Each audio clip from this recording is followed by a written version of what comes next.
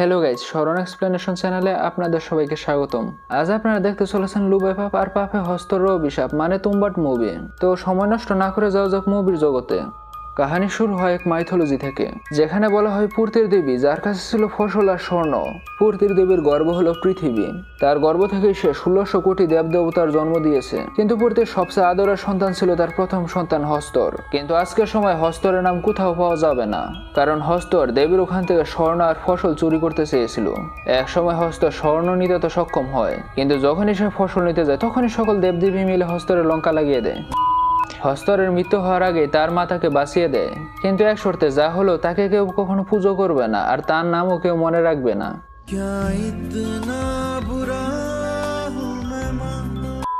অনেক বছর পর্যন্ত তো সব ঠিকই ছিল। হস্তর তার মায়ের পেটে আরামে ছিল। কিন্তু ওয়ান ফাইন মর্নিং কিছু লোকেরা চিন্তা করে আজ কিছু আবলামি করি। আর তারা হস্তর নামে মন্দির তৈরি করে ফেলে, যার ফলে দেবতাদের রাগ বৃষ্টি হয়ে পড়তে শুরু হয়। আর ওই দিন থেকে তুমবাটে বৃষ্টি পড়তেই থাকে পড়তেই থাকে। মানে থামার কোনো নামই নেই। আর এই মাইথোলজির গল্প এখানেই শেষ হয়। তো যাই হোক, এরপর শুরু হয় চ্যাপ্টার ওয়ান যেখানে আমরা এক মহিলাকে দেখতে পাই।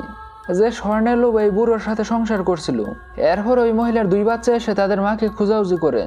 তো এই দুই বাচ্চা অনেকক্ষণ অপেক্ষা করার পর বিরক্ত হয়ে তালা খুলে ঘরের ভিতর প্রবেশ করে আর এক বুড়ির জন্য রান্না করা শুরু করে। এরপর খাবার দিতে যাওয়ার সময় তাদের মা এসে তাদের দুলাই শুরু করে। পরের দিন বুড়ো টপকে যায়। So now they have no reason for staying here এজন্য এই মহিলা প্ল্যান করে তার রাতে সবকিছু প্যাকিং করে সকালে পুনে চলে যাবে। কিন্তু এই বাচ্চা ইন্টারেস্ট অন গুপ্তদন যার রহস্য ওই বুড়োর বাড়িতেই রয়েছে। অন্যদিকে দ্বিতীয় নাম্বার বাচ্চা গাছে উঠে আবলামি করার সময় গাছ থেকে পড়ে গিয়ে টাক ফাটিয়ে ফেলে। এজন্য তার মা দ্বিতীয় নাম্বার ছেলেকে নিয়ে ডাক্তার দেখাতে চলে যায়। বেচারা স্বর্ণলোভী ছেলেকে ওখানেই রেখে। আর হ্যাঁ এখান থেকে যাওয়ার সময় ওই বাচ্চার মা তার ওই লোভী বাচ্চাকে সে বট বলে যায়, যার মাধ্যমে ঘরে থাকা বুড়িকে ঘুম পাড়ানো যায়। কিন্তু এই গাদা বাচ্চা চিন্তা করে ওই বুড়িকে খাদ্যের লোভ দেখিয়ে সে গুপ্তধনের সন্ধান পেয়ে যাবে। আর এই গাদা বাচ্চা সঠিক সময়ে খাদ্য তৈরি করতে পারে না, আর সে বটও বলে যায়। আর ওই বুড়ি এসে বাচ্চাকে টানতে টানতে তার রুমে নিয়ে যায়। কারণ সে এখন খুবই ক্ষুধার্ত, আর সে এখন এই বাচ্চাকেই ডিনার বানাবে। কিন্তু ভাগ্যক্রমে এই বাচ্চার সে বট মনে পড়ে যায়, যেটা বলে সে ওই বুড়িকে ঘুম পাড়িয়ে দেয়। এরপর আমরা জানতে পারি এই বাচ্চার ভাই মানে যেই বাচ্চা টাক ফেটেছিল, সে মারা গিয়েছে। এজন্য তারা সবকিছু গুছিয়ে পুনে চলে যায়। তো যাই হোক, এরপর চ্যাপ্টার টুতে পনেরো বছর পরের দৃশ্য দেখানো হয়, যেখানে সুহামশা ওই জায়গায় যায়, যেখানে ওই লুবি পরিবার থাকতো। আর এরপর আমরা জানতে পারি সোহমশাই হলো ওই লুবি বাচ্চা যাকে আমরা চ্যাপ্টার ওয়ানে দেখেছিলাম। তো যাই হোক এরপর সোহম ওই বুড়ির ওখানে যায়, যে তাকে ছোটবেলায় একবার আক্রমণ করেছিল। হ্যাঁ গাইস ওই বুড়ি এখনও জীবিত রয়েছে। যদিও তাকে গ্রুটের নানি লাগছে, তো যাই হোক, সোহম গিয়ে ওই বুড়িকে বলে, গুপ্তধন কোথায়? এরপর কয়েক মাস খোঁজাখুঁজি করার পর সোহম গুপ্তধনের সন্ধান পেয়ে যায়। আর গুপ্তধন পাওয়ার পর সে ওই বুড়িকে পুড়িয়ে মেরে ফেলে। কারণ ওই বুড়ি নিজেই মরতে চেয়েছিল। মুক্তি বলে এটাকে, এজন্য চিন্তা করো না। তো যাই হোক, এরপর সোহম নিজের বাড়িতে যায়, আর অতিরিক্ত খুশি হয়ে তার ওয়াইফের সাথে ইন্টিমেট হয়। সোহম গুপ্তধন মানে স্বর্ণের কয়েনকে টাকায় কনভার্ট করার জন্য চাচার ওখানে যায়। এসব গোল্ড কয়েন দেখে সোহম রক আর চাচা শখ হয়ে যায়। যাই হোক, এরপর চাচা গোল্ড কয়েনের পরিবর্তে নগদ টাকা দেয়। এরপর থেকে সোহম ঘন ঘন তুম্বাটে গিয়ে স্বর্ণের কয়েন নিয়ে আসে আর নগদ টাকায় পরিণত করে। সোহম এত পরিমাণে কয়েন নিয়ে আসে যে চাচা নগদ টাকা শেষ হয়ে যাচ্ছে, অথচ সোহমের কয়েন শেষ হওয়ার কোনো নামই নিচ্ছে না। এসব দেখে চাচার মনে শুধু একটা প্রশ্নই আসতে থাকে সোহম কোথা থেকে স্বর্ণের কয়েন পাচ্ছে? তো যাই হোক এখন চাচার প্রয়োজন টাকার। এজন্য চাচায় সোহমের সোর্স অফ মানি খোঁজার জন্য উঠে পড়ে লেগে যায়। এরপর চাচা সোহেমের বাড়িতে গিয়ে সোহেমের ওয়াইফের কাছে বিভিন্ন প্রশ্নের মাধ্যমে কয়নার রহস্য বের করার চেষ্টা করে। কিন্তু তখনই সেখানে সোহম চলে আসে। সোহমকে দেখে ওই বুড়ো চাচা বলে চলো একসাথে গিয়ে স্বর্ণের কয়েন কালেক্ট করি। এরপর আমরা ফিফটি ফিফটি করে নিব। কিন্তু সোহম বলে নিকাল লাউড়ে। তো যাই হোক এখন চাষার ইমার্জেন্সি বেড়ে যায়। এজন্য চাষা একটা শয়তানি বুদ্ধি বের করে আর সোহমের বাড়িতে একটা মেয়েকে কাজের মেয়ে বানিয়ে পাঠিয়ে দেয়। কিন্তু রাতে ওই মেয়ে সোহমকে বলে চাষা তাকে এই জন্য এখানে পাঠিয়েছে যেন সোহম দুই দিনের জন্য ঘর থেকে বের হতে না পারে।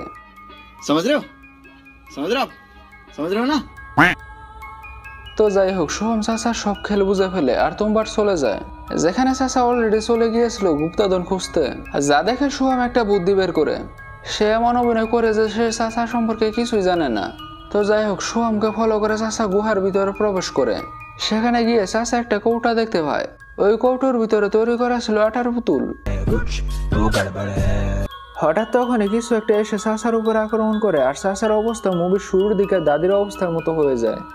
এরপর সেখানে শুয়াম এসে দাদিকে ঘুম পাড়ানোর সেফট বলে চাচাকে ঘুম পাড়িয়ে দেয় আর এরপর চাচাকে পুড়িয়ে দেয়। এরপর শুয়াম ফসল দিয়ে গুলবৃত্ত তৈরি করে একটা আটার পুতুল অন্যদিকে ছুঁড়ে মারে। এরপর সেখানে চলে আসে হস্তর। হ্যাঁ গাইস মাইথোলজির হস্তর। হস্তর এসে ওই আটার পুতুলের দিকে যায় আর আটার পুতুল খেতে থাকে। এ সুযোগে শুভম হস্তরের পুটলি কেটে সেখান থেকে স্বর্ণের কয়েন নিয়ে সেখান থেকে কেটে পড়ে। এখন যারা যারা চিন্তা করছেন, হস্তর শুভমের কিছু করল না কেন? তাদেরকে আমি মনে করে দিই হস্ত স্বর্ণ তো পেয়েছিল, কিন্তু সে ফসল পায়নি। আর যেহেতু ফসল তৈরি বৃত্তের ভিতরে রয়েছে, এজন্য হস্তর ওই বৃত্ত পার করতে পারবে না। আর এইভাবে শুভম অক্ষত অবস্থায় সেখান থেকে স্বর্ণ নিয়ে আসছে। তো যাই হোক, এরপর শুরু হয় ফাইনাল চ্যাপ্টার আর আমাদেরকে চল্লিশ বছর পরে দৃশ্য দেখানো হয়, যেখানে দেশ স্বাধীন হয়ে গিয়েছে আর সোহম বৃদ্ধ হয়ে গিয়েছে। এজন্য তার আর আগের মতো এনার্জি নেই। ফলে সে তার ছোট ছেলেকে ট্রেনিং দেয় যে কীভাবে হস্তরে ওখান থেকে স্বর্ণের কয়েন নিতে হবে। কিন্তু শত ট্রেনিং এর পরও সোহামের মনে হয় তার ছেলে এখনও প্রস্তুত না। তো যাই হোক এখন সোহাম ছাড়া হস্তরা সোনার কয়েনের রহস্য আর কেউ জানতো না। এখন সোহাম তার পরবর্তী জেনারেশনের কথা চিন্তা করে তার ছেলেকে নিয়ে তুম্বাটে যায়। আর রাস্তায় তুম্বাটে সকল হিস্টোরি বলে তুম্বাটে গিয়ে পুতুল বানাতে বানাতে তার ছেলেকে বলে আজ শুধু তুই টেস্ট ম্যাচের জন্য এসেছিস আবার স্কোর করতে যাবি না। এখন তুই আটার পুতুল বানা কিন্তু হস্তের ওখানে আমি একাই যাব। কিন্তু বাচ্চারা তো বুকাচন্দ্রই হয়। এই জন্য এই বুকা বাচ্চা সেখানে গিয়ে আটার পুতুল বের করে আর তখনই সেখানে হস্তর প্রকট হয়। আর যা দেখে সোহম বলে কিন্তু বাচ্চারা তো বুকাচন্দ্রই হয়ে থাকে। এজন্য ওই বাচ্চা হস্তরে ফুটলি ছিঁড়ে কয়েন চুরি করে সেখান থেকে কোনোভাবে বেঁচে ফেরত আসে। আর উপরে সেই সোহম ওই বাচ্চার দুলাই শুরু করে। মার। তো যাই হোক, এরপর তারা বাড়িতে আসে। আর ওই বাচ্চা তার বাবার সাইডকিককে তার প্রথম উপার্জন করা কয়েন দিয়ে বলে, আমি বড় হয়ে তোমাকেই বিয়ে করব। এখন এই কথা যখন সোহমের কানে যায়, তখন সোহম আবার তার বাচ্চার দুলাই শুরু করে। টাকাতে মার। কিন্তু মার খেতে এই বাচ্চা একটা বুদ্ধি বের করে, আর তার বাবাকে বলে, আমরা ওই পুটলি থেকে কয়েন চুরি করার পরিবর্তে ওই পুটলি চুরি করে ফেলি বাবা। এই বুদ্ধি শুনে সোহম ইমপ্রেস হয়ে যায়। পরের দিন সোহম আর ওই বাচ্চা ইতিহাসে সেরা ডাকাতি করতে যায়, আর যার জন্য তারা অনেকগুলো আটার পুতুল তৈরি করে। যাতে হস্তর এসব পুতুল খেতে যেতে তারা হস্তরে পুটলি চুরি করে কেটে পড়বে এজন্য তারা বস্তা ভরে আটার পুতুল গুহায় নিয়ে আসে। কিন্তু প্লট টুইস্ট আজকে তাদের কপাল খারাপ ছিল, কারণ যত বেশি আটার পুতুল ছিল, ততই বেশি হস্তর এসেছিল। আগেই বলেছিলাম, বাচ্চারা বোকাচন্দ্রই হয়ে থাকে। আরও করে বাচ্চার উপর বিশ্বাস। তো যাই হোক, এত হস্তর দেখে ওই বাচ্চা সেখানে অজ্ঞান হয়ে যায়। আর জ্ঞান ফিরলে দেখে তার বাবা তার সারা শরীরে আটার পুতুল বেঁধে নিজেকে স্যাক্রিফাইস করে যাতে তার ছেলে সেখান থেকে বেশি ফিরে যেতে পারে। তো যাই হোক, অনেক কষ্টের পর ওই বাচ্চা সেখান থেকে বের হতে পারে, আর পাশেই তার বাবাকে দেখতে পায়। কিন্তু তার বাবার অবস্থা এখন ওই দাদি আর চাচার মতো হয়ে গেছে। কারণ এটাই হলো হস্তরের কার্স বা অভিশাপ। হস্তর যদি কাউকে কামড় দেয়, তাহলে তার এই অবস্থা হয়। তো যাই হোক, এরপর সোহাম তার ছেলেকে বলে শুনবে গাদা, তুই না ছেলে হস্তলের ফুটলি নে ছাগল, নে। কিন্তু আমি আগে বলেছিলাম, বাচ্চারা বুকাচন্দ্র হয়। এজন্য এই গাদা বাচ্চা ফুটলি নেওয়ার পরিবর্তে সে সেহওয়াট বলে তার বাবাকে গুম পাড়িয়ে দেয়, আর তার বাবার উপর আগুন জ্বালিয়ে দেয়, আর সেখান থেকে খালি হাতে চলে যায়। আর এখানে এই মুভির কাহিনী শেষ হয়। এখন গাইছে এই মুভি নিয়ে কিছু অজানা ফ্যাক্ট জানা যাক। যা দেখে তোমরা আরও মজা পাবে। এই মুভিতে প্রথমে সোহমের পরিবর্তে নাসুদ্দিন সিদ্দিকের থাকার কথা ছিল। কিন্তু তারপরে এই প্ল্যান ক্যান্সেল করা হয়। এই মুভিতে যেহেতু বৃষ্টির দৃশ্যটা থাকা ইম্পর্টেন্ট ছিল। এজন্য বৃষ্টির দৃশ্য রিয়ালিস্টিক রাখার জন্য রিয়াল বৃষ্টিতে শুটিং করা হতো। আর যার জন্য মুভি বানাতে ছয় বছরের মতো সময় লেগে গিয়েছিল। যার মানে সোহম ছয় বছর নিজের শরীরকে এক হিসেবে রাখতে হয়েছিল। এই মুভিতে থাকা দাদির অভিনয় মূলত একটা বাচ্চাই করেছিল, যাকে আমরা এই মুভিতে সোহমের ছেলে হিসেবে দেখেছি। এই মুভি প্রথমে তিন ঘণ্টা বিশ মিনিটের হতো, কিন্তু এরপর একে এক ঘণ্টা চল্লিশ মিনিটের করা হয়। এই মুভি মাত্র পাঁচ কোটি দিয়ে তৈরি হয়েছিল, যেখানে এই মুভি তেরো দশমিক সাতান্ন কোটি আয় করেছিল। তো গাইস এই ছিল এই মুভির কাহিনী। আশা করি আপনাদের ভালো লেগেছে। আজ আমি চললাম দেখা হবে নেক্সট ভিডিওতে